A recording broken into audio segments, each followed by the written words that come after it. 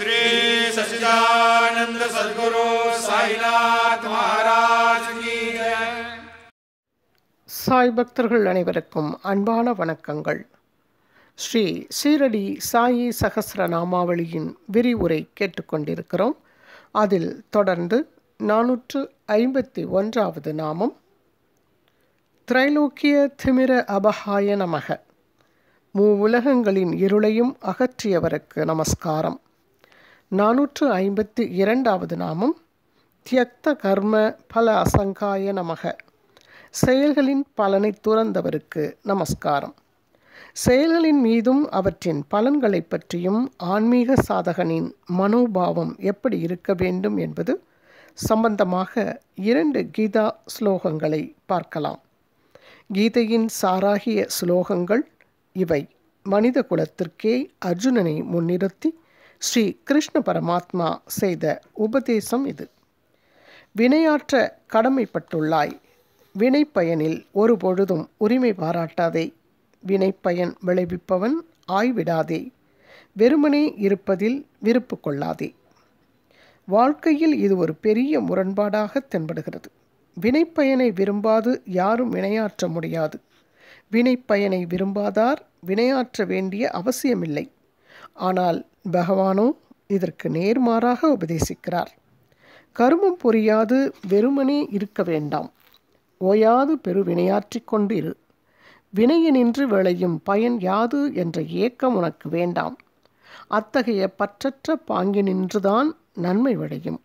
ஏனென்றால் கருமம் தன்னளவில் கொடியதன்று. ஆசையோடு கூடிய கருமமே கொடியது.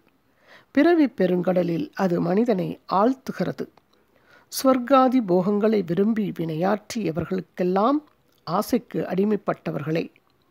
வினைப்பயனை விரும்பாதவர்களெல்லாம் ஆசையை வென்றவர்கள். ஆசையை வெல்லும் அளவு மனிதன் சுதந்திரத்தில் நிலை பெறுகிறான். பயன் கருதாது பணி செய்தவனுக்கு சித்தம் தெளிவடைகிறது. ஞானத்தை பெற அவன் தகுதியுடையவனாகிறான். ஆற்றலும் அவனுக்கு அதிகரிக்கிறது. ஆக கருமம் நடைபெற வேண்டும்.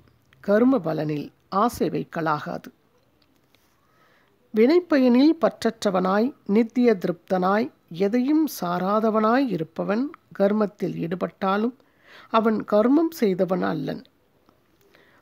அகர்மம் எது என்பதை புறத்தே தென்படும் செயலற்ற காட்சி விளக்காது. அகத்தில் உள்ள மனநிலை ஒன்றே அகர்மத்திற்கு விளக்கமாகும். தபால்காரன் ஒருவன் பணம் கொண்டு வந்து செலுத்தி ஒருவரை மகிழ்வூட்டுகிறான். நற்செய்தி அடங்கப்பெற்ற கடிதம் கொடுத்து இன்பம் விளைவிக்கிறான். மற்றொருவருக்கு இழவுச் செய்தி கொண்ட கடிதம் கொடுத்து துன்பம் விளைவிக்கிறான்.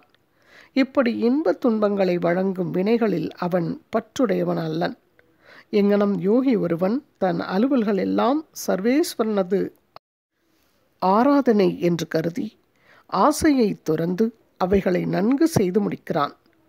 பற்றின்மையால் அவன் நித்திய திருப்தனாகிறான்.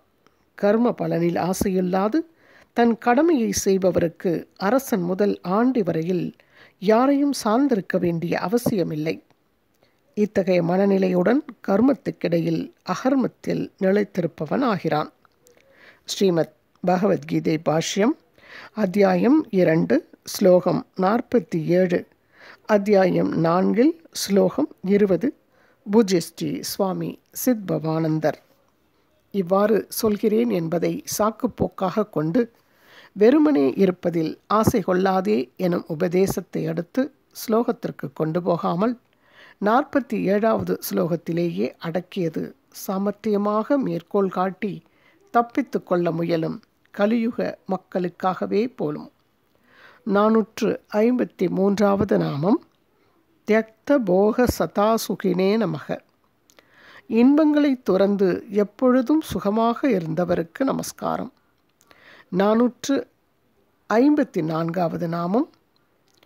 தியக்த தேகாத்ம புத்தியேயே நமக. உடல்தான் நான் என்னும் நினைவை துறந்தவருக்கு நமஸ்காரம்.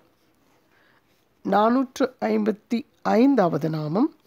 தியக்த சர்வ பரிக்ரஹாய நமக. எப்பொருளையும் பிடித்து வைத்துக் கொள்வதை முற்றிலும் துறந்தவருக்கு நமஸ்காரம். நானூற்று ஐம்பத்தி ஆறாவது நாமம். தியக்த்வா மாயாமயம் சர்வம் ஸ்வே மகிம்னி சதா ஸ்திதிதாய நமக. மாயை என எல்லா பொருள்களையும் உதறிவிட்டு தமது உன்னத நிலையிலேயே எப்பொழுதும் நிலைத்தவருக்கு நமஸ்காரம்.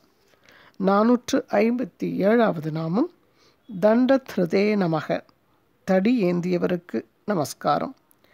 தண்டம் வைத்திருப்பது ஏந்துவது சந்நியாச தர்மம். பாபா எப்போதும் கையில் ஒரு குறுந்தடி வைத்திருந்தார். இக்குறுந்தடிக்கு மராட்டியில் சட்கா என்று பெயர். தவறு இழைத்தால் தண்டனை தருவேன் என்று சங்கீத பாஷையில் அறிவித்தார் போலும்.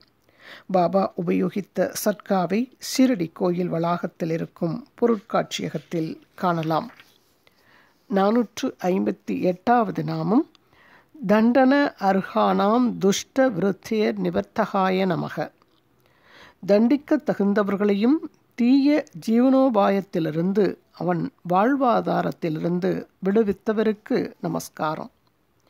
நானூற்று ஐம்பத்தி ஒன்பதாவது நாமம் தம்ப தர்பாதி தூராய நமக.